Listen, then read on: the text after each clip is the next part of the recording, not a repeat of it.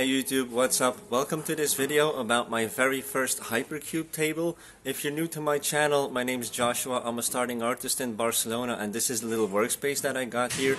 There are just a few of the pieces that I'm focusing on right now but this video is going to be more like an introductory video, uh, an explanation video on how I built this table. I'm not going to show every little detail.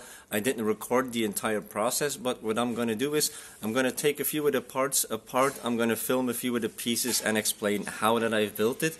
The reason is there are a few mistakes in the table and I'm going to make a second one, a much better one, much more detailed one, which is not going to have the same mistakes as the one that this one has. So yeah, if you like what you're seeing, if you're into DIYing about LED, epoxy, all kinds of materials, make sure to leave a like, make sure to subscribe to see more in the future because there is much more coming. And yeah, let's jump into the video.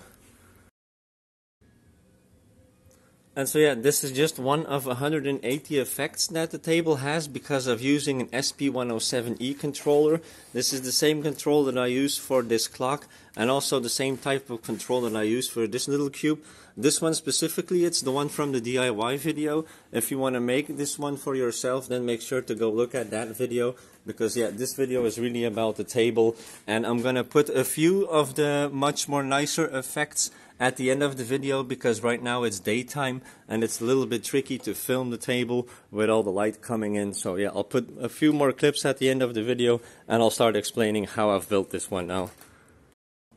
So yeah, first things first, some specifications. There are 588 LEDs in this table. These are the exact ones that I've used. I can really recommend these. They're very bright and they respond very good to the effects of the SP107E controller. Now this one isn't made exactly for these LEDs, but it works perfectly. I'll put a screenshot uh, somewhere in the video to see what settings you need to have. And everything's powered by a 350 watt 5 volt power supply, which is way too powerful. But um, I bought this one with another project in mind.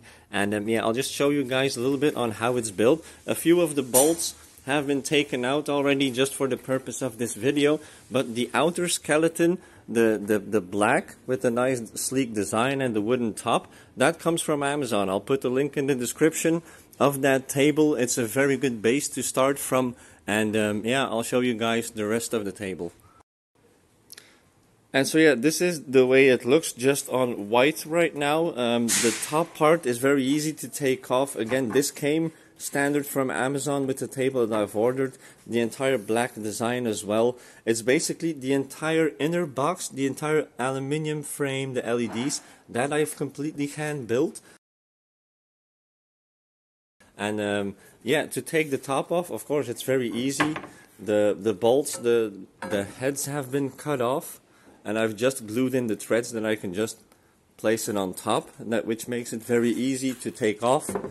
And then the second part this came with the skeleton from the Amazon table which is this part. Normally this is bolted with eight bolts but yeah I've already taken out the bolts to make it easy to film this for you guys I'm just gonna put this here to the side and yeah, now we have our cube itself, which is completely free to work on. And the most easy part of all, as you can take the top panel off, very, very easy to clean on the inside. Also to be able to put something on the inside. Like for example, I have this dodecahedron. This was a prototype, so yeah, I'm giving away this right now that uh, I'm working on a big one yeah, this is how it looks when you put that one on the inside. So you just saw me taking off the top panel and it makes it really easy if you just build it the way I've built it. So it's made that the outer L profile, which is aluminum L profile, I believe 20 by 20, uh, it's made that you just have like 3 millimeters or maybe even 4 millimeters of play so that you can just place the top panel on and it's loose it's still nice and tight. It sits nice and snug against the railing and it makes it very easy to take off to put a panel on the inside. And for the bottom panel, it's the same principle. The bottom panel is just laying on the black skeleton and again a few millimeters of play and the whole aluminium cube itself is standing on top of it which makes that only the four standing panels are actually fixated inside the cube but I've made a mistake there and I'll show you that in the next clip.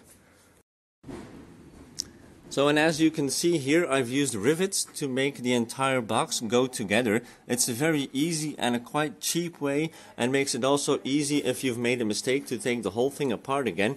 Yeah, and I can assure you I've probably taken this box apart three times until I got it figured out to make it the way it's made right now.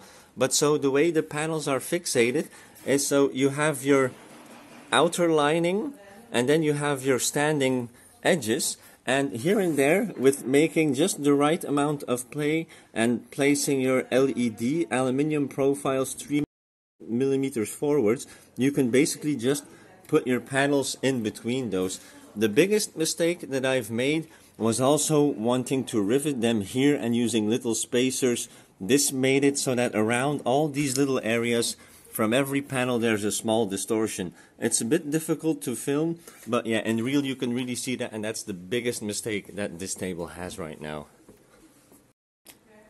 So when it comes to wiring a table like this, yeah, that is a little bit tricky and if it's going to be the first thing you're going to wire or solder in your life, then yeah, don't get started on that. Maybe you can get started on maybe uh, a first DIY hypercube where I've also made videos from. But um, yeah, as you can see here, there are three positives going in, there are two grounds coming out, one data cable, and so of course as you can see this table is in an unfinished state. I'm not going to finish it completely. Why? Because of the mistakes also to save on money and I really want to get started on another one. And uh, just giving you a few pointers like if you really want to make one like there is a reason why this has uh, a few gaps. This is to be able to put in cables inside of the aluminium railing because once you have riveted your outer box, your four panels, yeah, your railings are also going to start getting fixated in place. So uh, a few things of the soldering you have to do inside of the cube. Um, so yeah, it's something you have to really take on step by step. You have to be well prepared. And therefore, I'm really just going to make a second, a long video where you're going to see me make a table like this step by step with a full explanation. And now I'm just going to show you guys a few clips. I'm going to bolt it back together and show you guys a few of the 180 effects. And it's also music responsive. So yeah, make sure to get ready. Strap on.